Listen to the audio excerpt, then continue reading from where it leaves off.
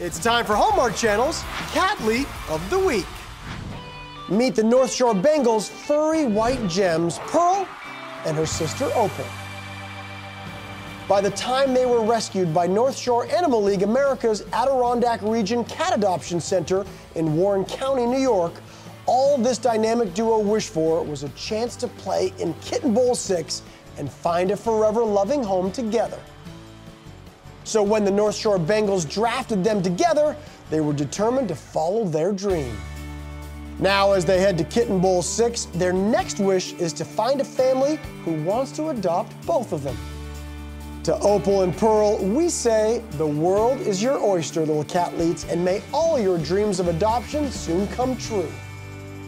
Aw, shucks. To catch up with all the cat-letes, go to hallmarkchannel.com and tune in to Cat Bowl on February 2nd at 10 p.m. and Kitten Bowl 6 on February 3rd at 3 p.m. exclusively on Hallmark Channel.